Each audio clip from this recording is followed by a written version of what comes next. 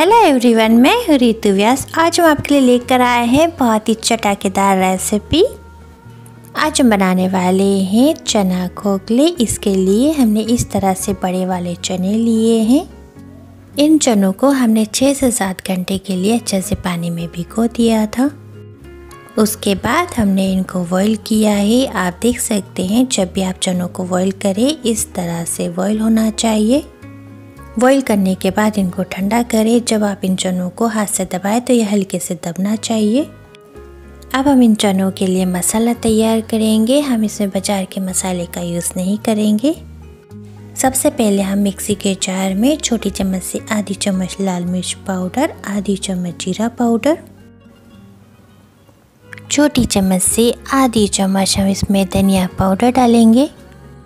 छोटी चम्मच से आधी चम्मच हल्दी पाउडर छोटी चम्मच से आधी चम्मच काला नमक छोटी चम्मच से आधी चम्मच काली मिर्च पाउडर छोटी चम्मच से आधी चम्मच नमक,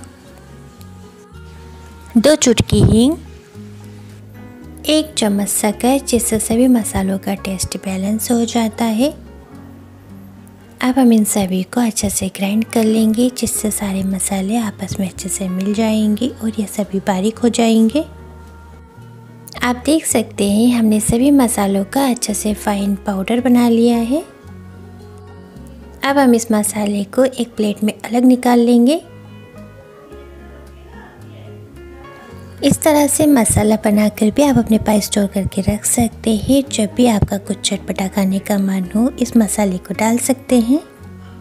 अब हम चनों को फ्राई करने के लिए कढ़ाई में ऑयल लेंगे। ऑयल हमारा मीडियम गर्म होना चाहिए। ज़्यादा हॉट ऑयल में हम इनको फ्राई नहीं करेंगे। चनों को इस तरह से झाड़ी पे रखते हुए हम धीरे से सभी चनों को ऑयल में डाल देंगे। चनों में हल्की सी नमी रहती है, इससे तेल के छींटे भी उड़ सकते हैं। इस बात का आप विशेष ध्यान रखें। गैस को हम मीडियम करते हुए चने को बहुत ही अच्छे से रोस्ट करना है। अब हम एक छोटी चम्मच से चनों की साइड चेंज कर देंगे। इन चनों को फ्राई होने में छः से सात मिनट लग सकते हैं। इस तरह की रेसिपी देखने के लिए वीडियो को लाइक करें, शेयर करें, सब्सक्राइब करना ना भूलें। जैसे चने फूलकर हल्के से ऊपर आने लगते हैं, उस समय हम इनको चेक करेंगे। चेक करने के लिए आप एक चना निकाल कर हल्के हाथों से दबा कर देखें।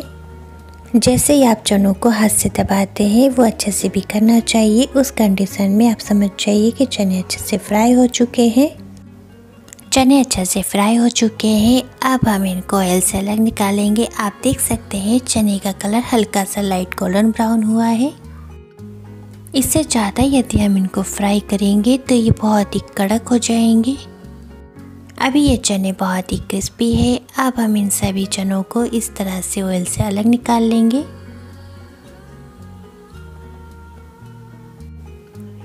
अब हम इन सभी गर्मा गर्म चनों में बनाया हुआ मसाला डाल देंगे।